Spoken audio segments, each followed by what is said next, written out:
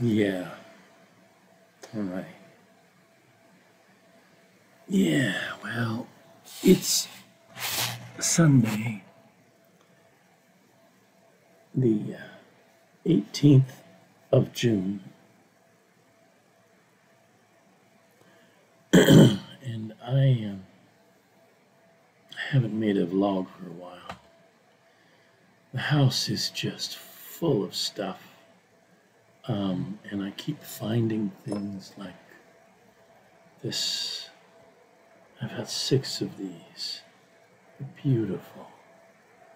Just gorgeous. Perfect for cocktails with gold embossed rim, and then a little bit of gold around the rim. Oh, listen to that. Beautiful. And then, of course, there's the plates I've decided to use. Decided to use these. This is a um, salad size plate. There's a dinner plate that's about that big. And then there's cups and saucers. And there's the China mark on the back.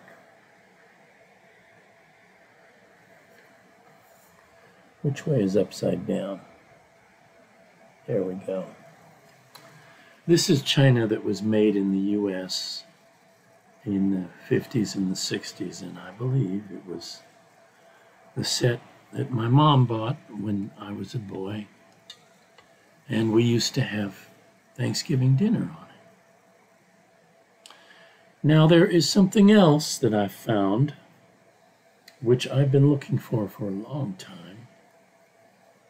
And I'm going to bring it on over here because this is a very special friend of mine and it has been missing for a while. I've been looking for this guy. This is the fish. Yes, the fish. I've been wondering where it was, and now I know. It's actually a cushion or a pillow, if you like. You know, one of those.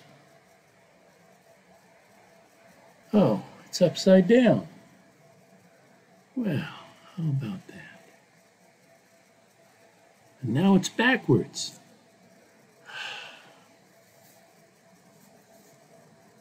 No, it's not backwards.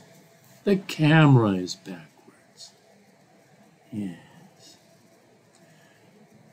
Trout, made in China. Yes, and it needs to be packed up and sent off to its new home in Boston or next door to Boston.